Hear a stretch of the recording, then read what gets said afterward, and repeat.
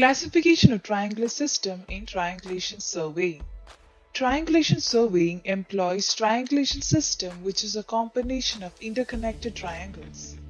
The combination of a set of triangles is called as triangulation system or triangulation figure. The classification of triangular figures is performed based on the accuracy with which the length and the azimuth of a line of the triangulation are determined. The triangulation system opted can take different accuracies which is nearly dependent on the extent and the purpose of the survey. Let's look into the classification of triangulation system in triangulation surveying. Primary triangulation, secondary triangulation and tertiary triangulation. Primary triangulation or called as first order triangulation in surveying. It is the highest order of triangulation performed to determine the control points or Earth's figure. It embraces the whole surface area under consideration. It can be connected to secondary triangulation. The specifications are shown in the figure where the average triangle closure, if it's a parameter considered, the specification must be less than 1 second.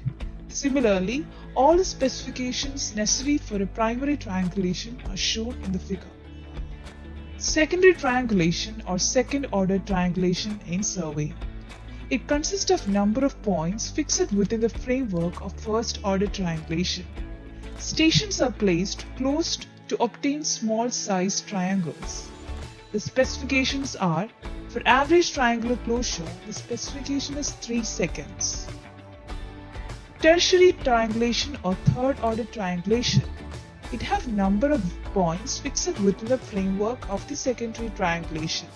The points are immediate control for the detailed engineering and other surveys.